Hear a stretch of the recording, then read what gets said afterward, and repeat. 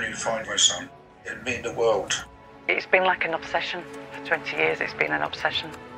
In the last year, over 4,000 people from across the UK have contacted the long lost family team. Do you know what her full name would be? Asking us to find their missing family. I tried to write so many times to my brother. There's this one, this one, this one. They took my sisters. I just want to know what happened to them. I need to meet my birth father. He is part of who I am. Using trained intermediaries, DNA experts, and investigators all over the world, we find people that nobody else could trace.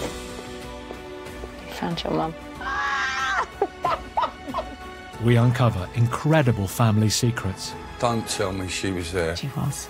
Meeting a famous person who happens to be your sister. I can't even begin to describe what that actually feels like. And answer questions that have haunted entire lives. I knew there was going to be twists and turns. I, I said it. This week, two people searching for their birth mothers. A man who's struggled ever since he found out he was adopted, I always question what was wrong with me. Why did it happen? And a woman whose whole world is on hold. I want to get married to this most amazing man, and I can't until I find her.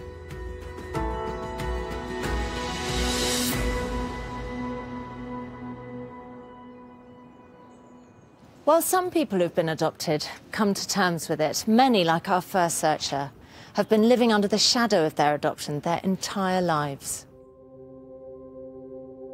I don't think, unless you've been adopted, unless you've been through the years and years and every day of questioning who you are, where you've come from, feelings of regret, you never you would never ever understand that. You'd never understand what that feels like.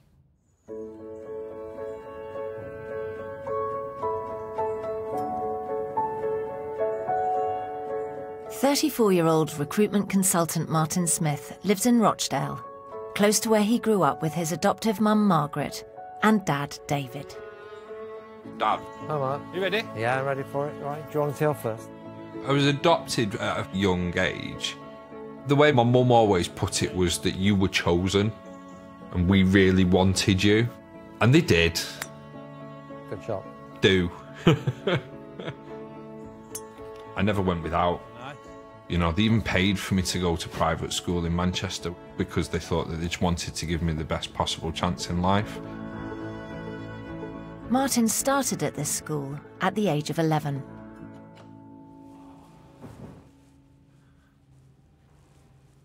It's not changed, actually.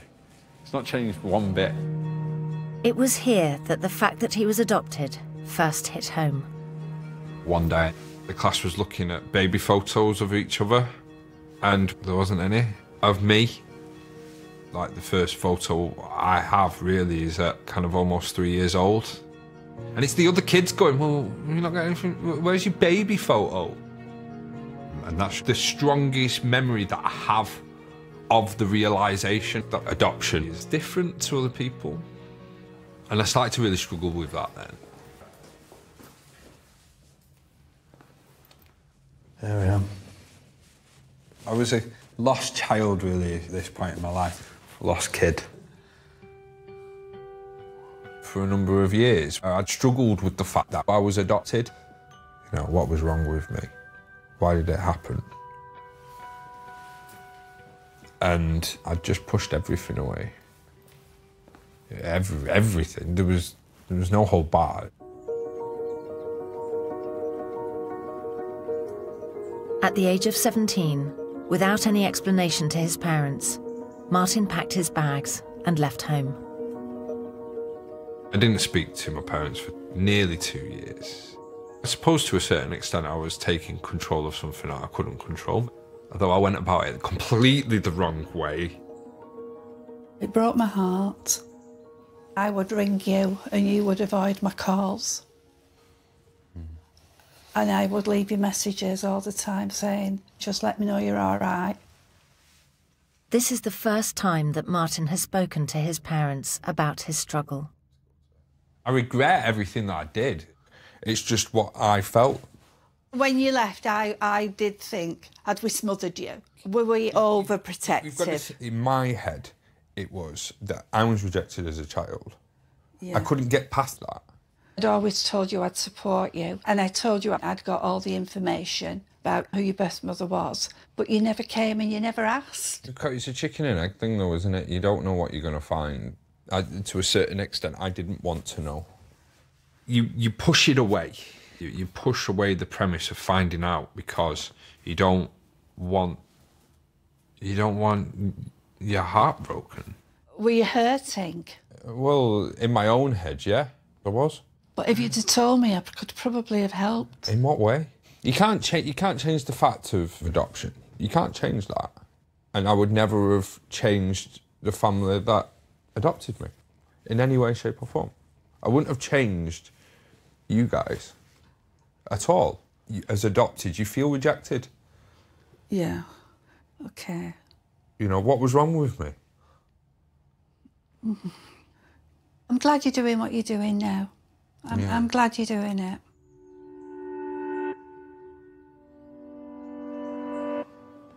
It's only now, with the encouragement of his parents and his wife Laura, Hiya. Hi. that Martin has dared to try and find out any more about his birth mother. He's so lovely, but at the same time, there's always the underlying issue that he's felt rejected for 34 years. He just wants to know where he comes from. Why did she give him up? Glad we're doing this because that, that seems to be the common thing is that people just bury the feelings. So it's nice to hear you talk about it. And that's what you do, though, isn't it? You do bury your feelings. You do always question, who am I? And the only way you're going to answer those questions is by meeting my mum.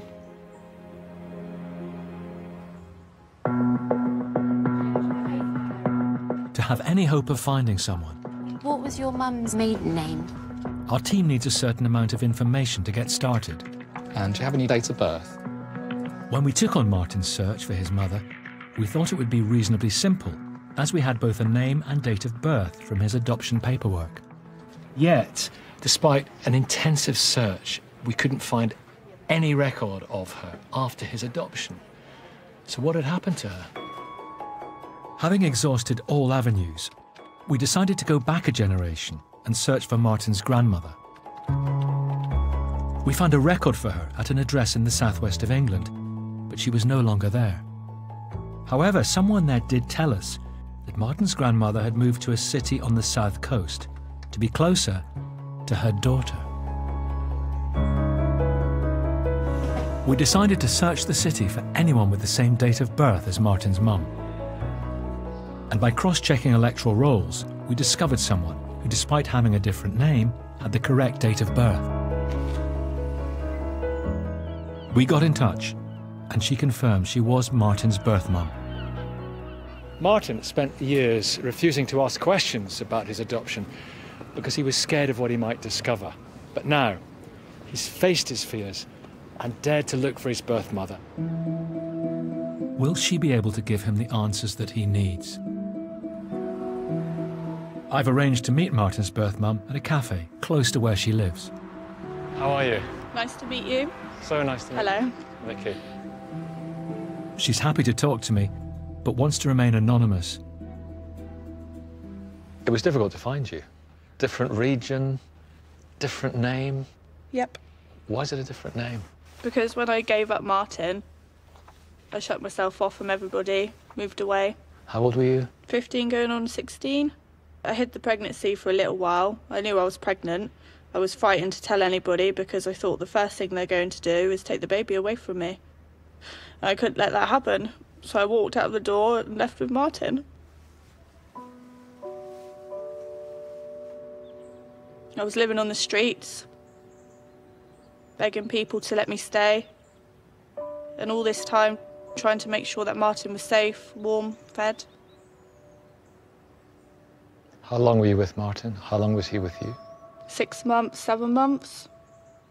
I had him before, before I had to give him up for adoption. It was going into the winter, getting colder. It was literally begging people for money. I had nowhere to sterilise bottles, so I had nothing. You know, I could get barely get nappies some days. It was terrifying, and that's awful to do that to your child, to feel that inadequate. It was about surviving every day, and that just got tougher and tougher until I made the call, and that was all I could do.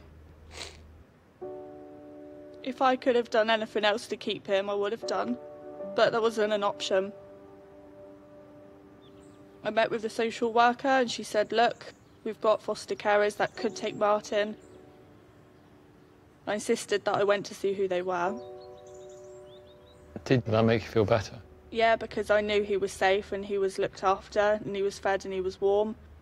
But I can't tell you what it's like having to walk away, watching your child go in a different direction.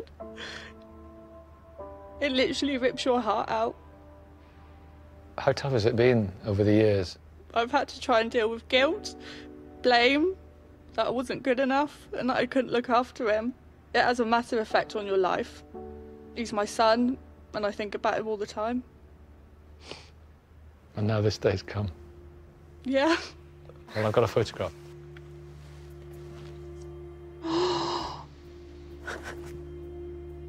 He's so beautiful. I want to hug him because the last time I hugged him, he was so tiny. Before we tell Martin we've found his birth mother, we take on another search. It's on behalf of a woman desperate to find her birth mother so she can begin the rest of her life. I do like that one, actually.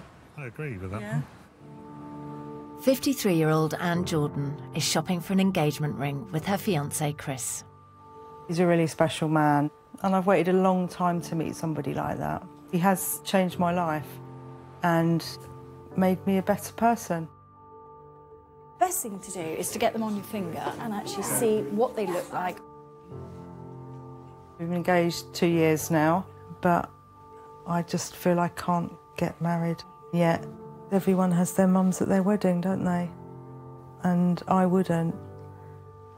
I want to get married to this most amazing man, and I can't until I find her. So, oh, sorry.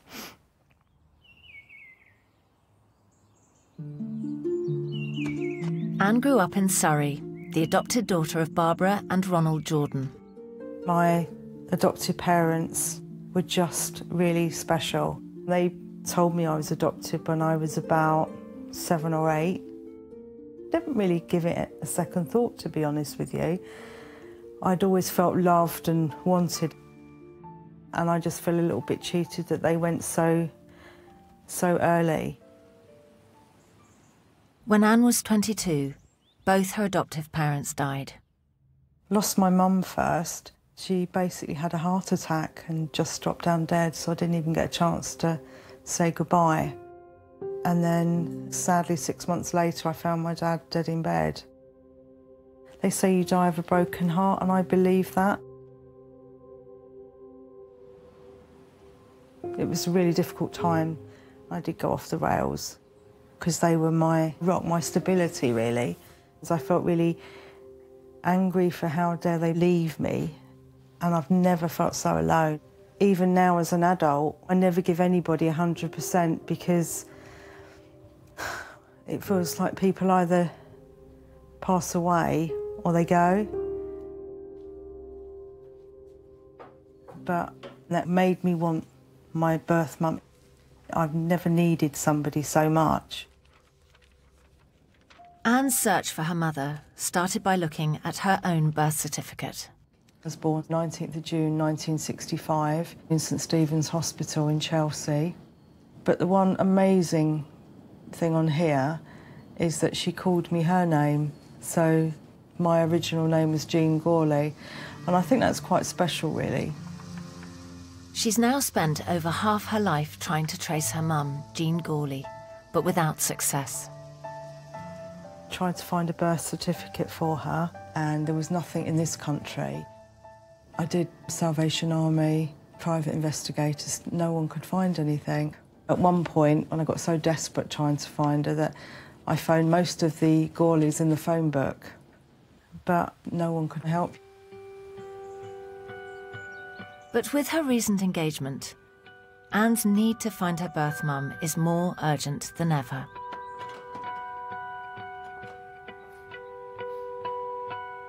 You imagine my wedding here, but I want to look behind me and see my mum sitting in the front of the church there, looking proud. Until she finds her mum, Anne has put her wedding plans on hold. I just feel I can't get married until I've tried everything in my power to try and find her.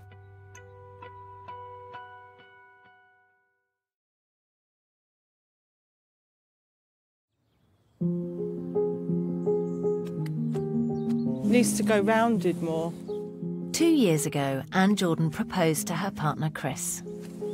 I need a step stool for the top bit. It's grown about six inches. I know. I know. It's unbelievable. But the couple have held off setting a date for their big day, as Anne wants her birth mother to be with her. It smells really nice when it's cut.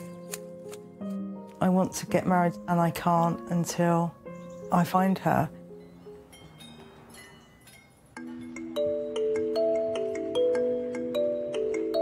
From her research, Anne was able to give us two vital pieces of information her mother Jean's name and date of birth. So, why hadn't Anne been able to find any trace of her? Like Anne, we couldn't locate a birth record for Jean Gorley. But we did find one for Jean Gates, who had the same date of birth as Anne's birth mother. This woman had been born illegitimately to a father called Gorley. For over 30 years, Anne had been using the wrong surname in her search. Now, at last, we had a record for Anne's birth mother. With Jean's correct name, we were able to trawl records to trace her. But then we discovered that tragically, Jean had died in 1975, aged just 31.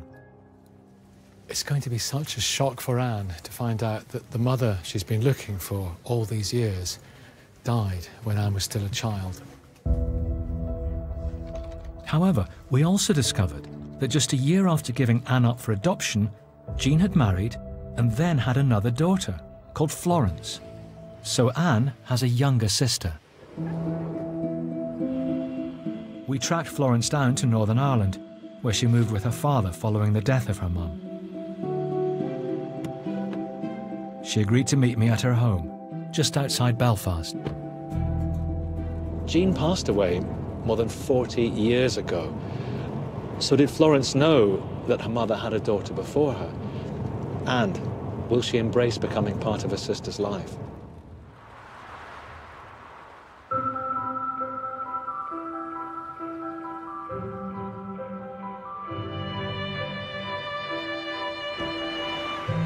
Florence has been with her husband for 35 years and has a grown up daughter.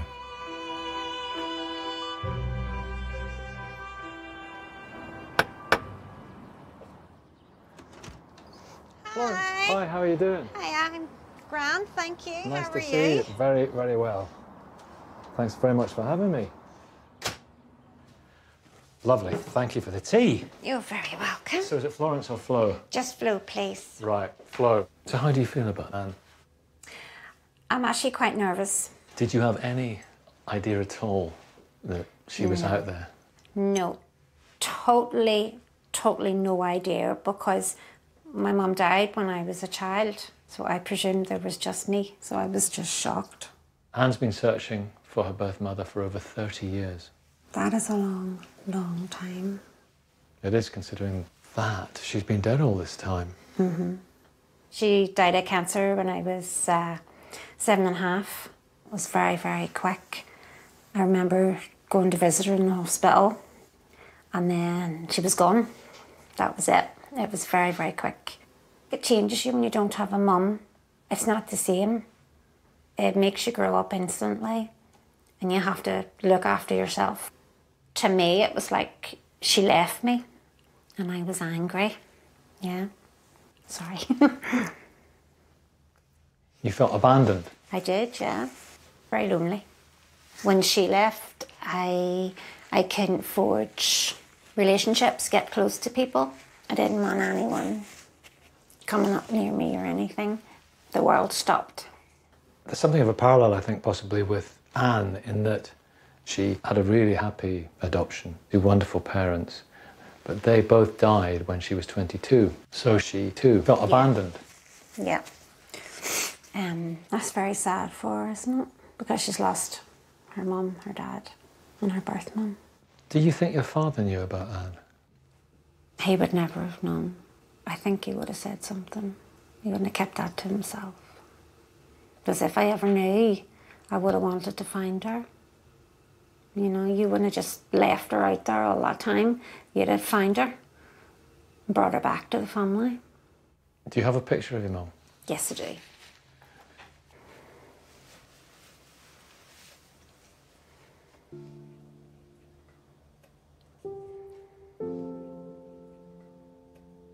She looks like a very kind woman.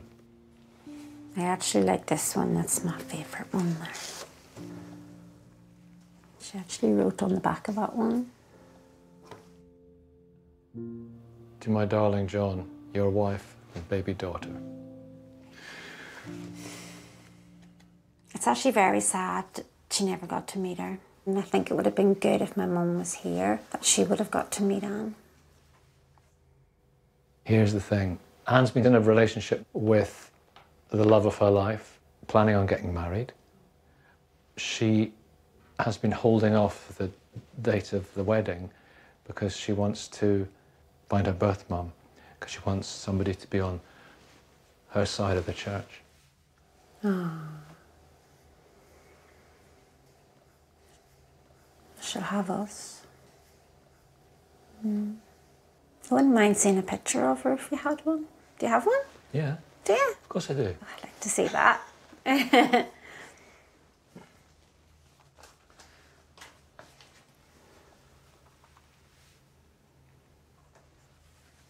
oh my goodness. She reminds me of me. I just wish we'd have met her years ago and looked out for each other. Wish we'd have known. No, I really want to meet her. I want to get to know her.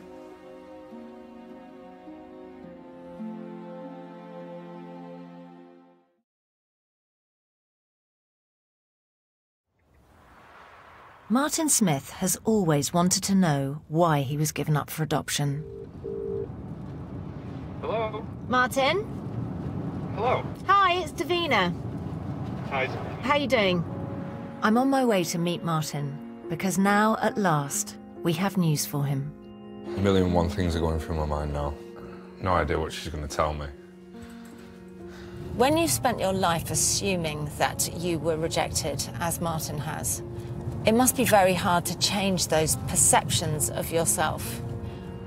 But now that Martin's mum's been found, I can tell him just how hard she fought to keep him. So, will he be able to let go of those feelings of rejection at last? Well, you said you wanted to find out. I do. I do want to find out.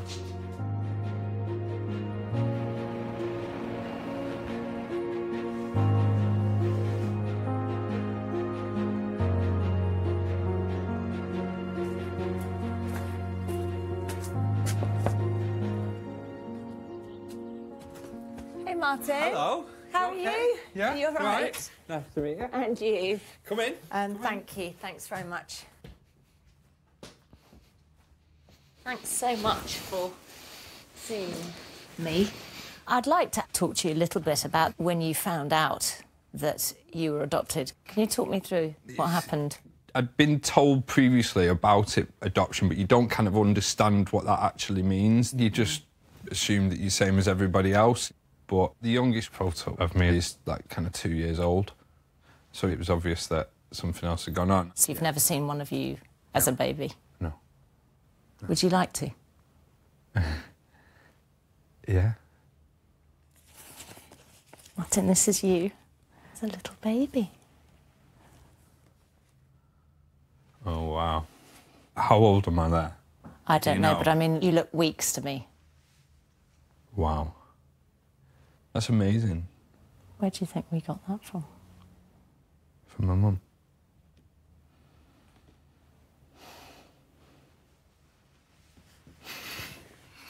Does that mean a lot? Yeah. Yeah, it does.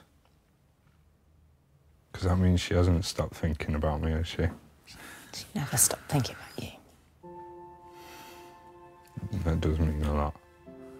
At 16, she left home and she'd had you. She did look after you for six or seven months. But she ended up on the streets, basically. She was sleeping in a park. Wow. She that must said have been that really hard. she was begging for money. She was struggling to feed you. And she just woke up one morning and just thought, I can't keep doing this. That's horrible that she should ever be put in that situation. It's for you.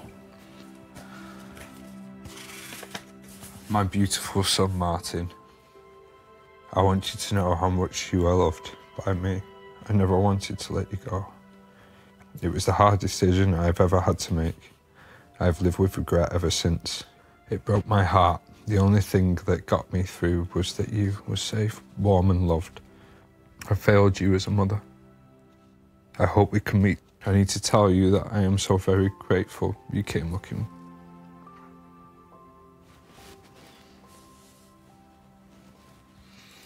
It's really good to read. Sad at the same time. Although she didn't do bad by me at all, you know, I, never regret my childhood and my growing up and my family at all, and, and, and I love them to bits. But it's just sad that it, somebody has to hurt from it I guess this is where the healing begins. for everyone. Well, this is your mum.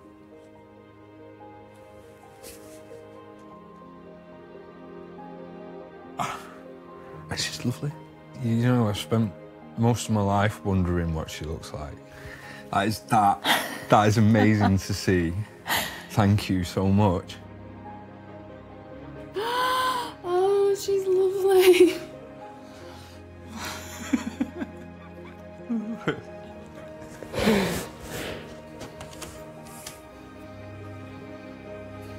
Hi.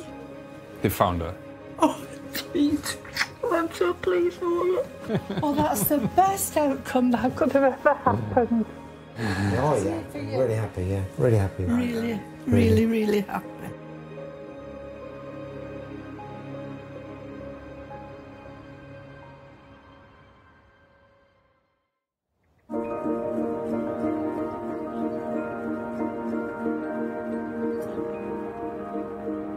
Today's the first day I meet my birth mother.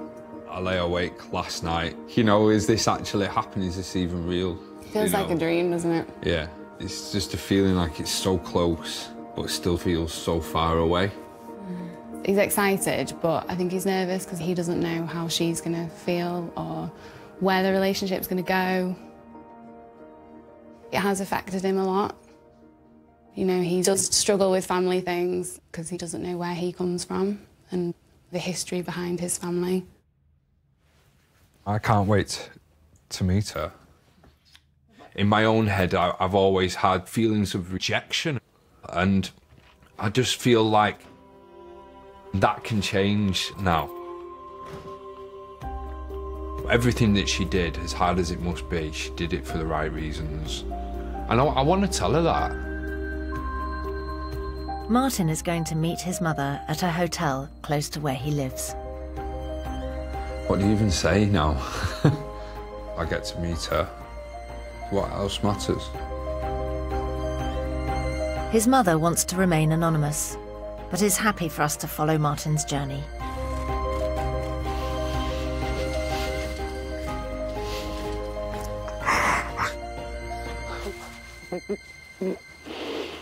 You okay? Oh my god, look at you! Even better than the picture. It's so oh good to meet you. It's so good to hold you. It's like going home to the home that you didn't know you had. I just want you to know that you were never not wanted. There just wasn't anything. If there had have been, I would have took it. If there was a way to have kept you, I would have done it. It's fine. I'm, I'm, I'm complete. I just feel like, like I'd never not known her. This was your hat when you first came out of hospital? I've never had anything from you. No, they wouldn't let me give you anything. When he walked round the corner, that's my son, and my heart just felt like it was going to burst. Didn't want to let him go. Meeting her answered who I am. I'll never, ever own those feelings of rejection again. And now I just feel like it's a new beginning for everyone.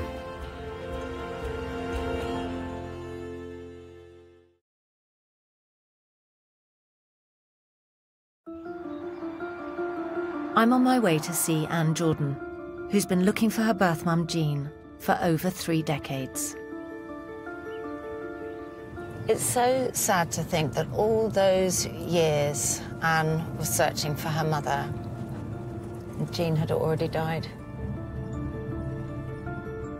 But now that we've found Ann's sister Flo, who also missed out on having her mother in her life, I wonder if that shared loss will bring them together.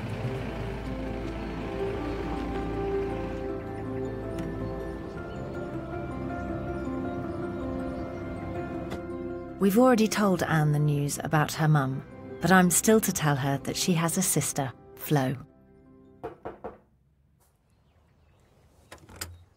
Hi, Davina. Um, Hi. You all right? Yeah, come in. Oh, thank you very much. Um, thank you so much for seeing me because I know that you, you had a lot to deal with.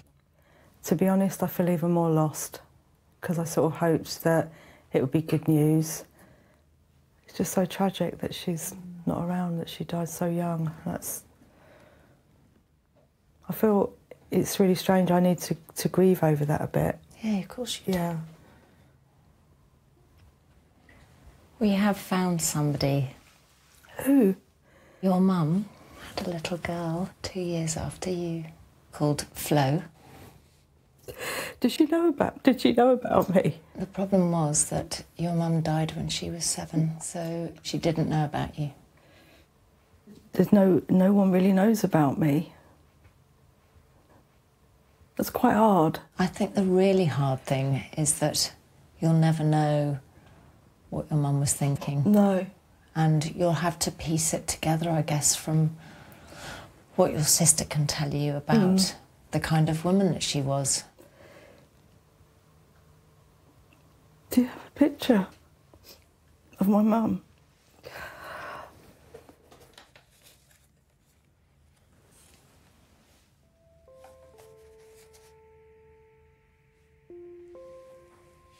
So happy to have this. It does feel comfort because that's the thing that I keep saying over again. I need a picture. Here, I've got another one of um, her and Flo. Oh, God. Flo would like to give you lots more. Does she want to see me? Yes. Really? Must have been hard for her because she's grown up without a mum too, so she can understand what it feels like. There are a lot of similarities between the two of you. Really? Yeah. I want to show you a picture of Flo because I think it will all make sense when you see her.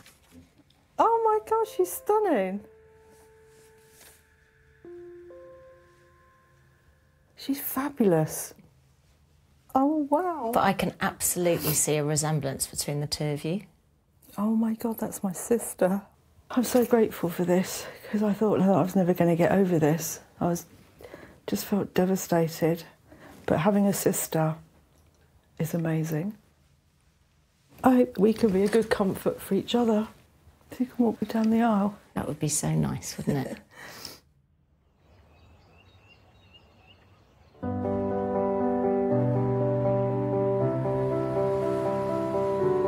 few days after discovering she has a sister, Ann's travelled to London to meet Flo. I'm thinking about my mum today, and I almost feel guilty for feeling happy about meeting my sister. But I'd like to think that actually she's smiling and it's okay. I just hope it's everything I'm hoping it's going to be. This is the first time Flo has been back to London since she lived here as a young child with their mother. I'm feeling very tearful at the minute. My mummy has been at the front of my head from I woke up this morning. Things I haven't thought about since I was tiny. Like, I remember being, she took me out um, with my dad to buy me a coat. And I remember it was a little red coat. I think that's possibly the last thing she bought me. I wish she was here. The sisters are meeting at a pub in Chelsea, close to where Ann was born. Now that Ann is here, I think it'll be easier for me because it actually makes me feel that there's a part of my mum there, which to me is it's a shock, but it's also a good thing.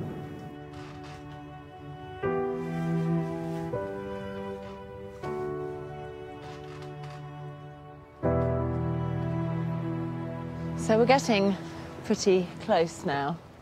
How are you feeling? Nervous and excited all at the same time. What are you going to say? What's what like? What do you want to talk about? Everything. I mustn't get. To, I get so excited. I want to say 300 things all at once. I just want to feel connected, but also I need to take it slow. I'm getting a bit ahead of myself. Yeah. Planning the future, Yeah. and I need. And that's what is that what you want? A future? Yeah.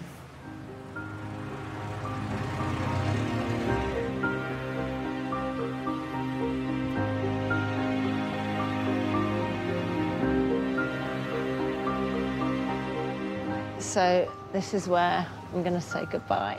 Thank you. Your sister's in there.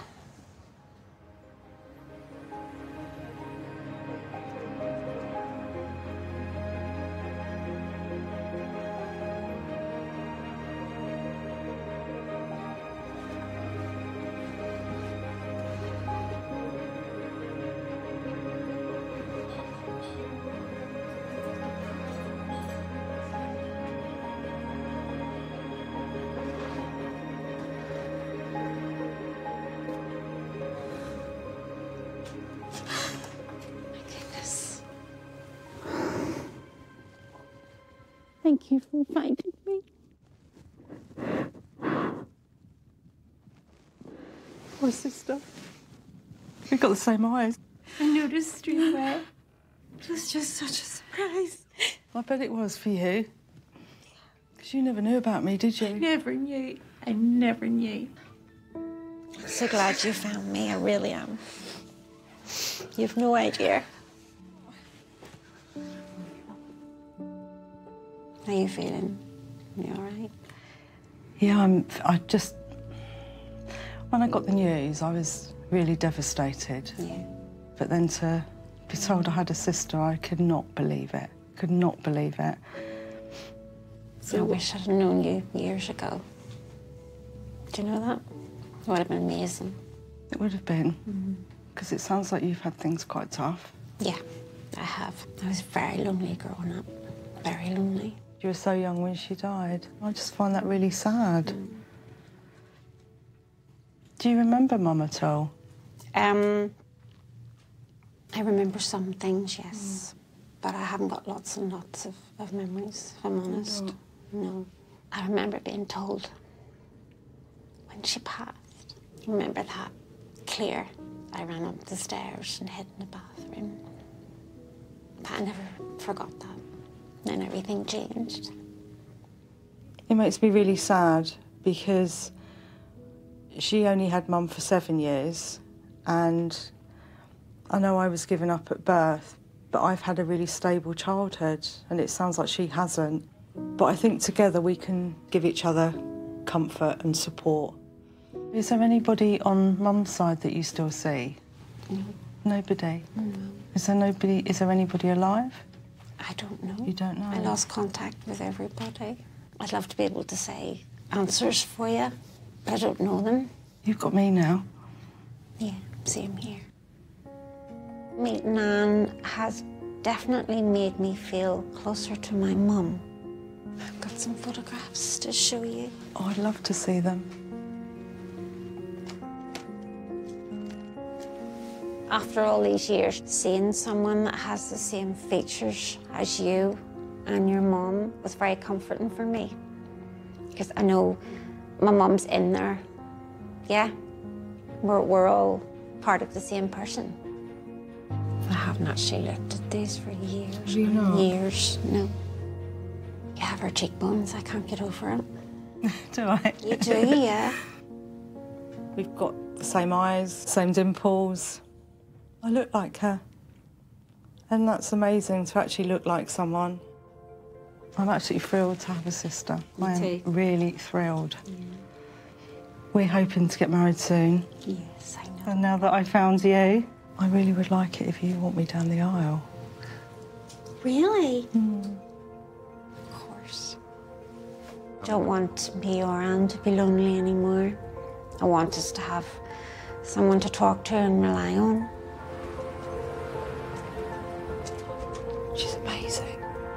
She's so amazing. Um, I just, I adore her.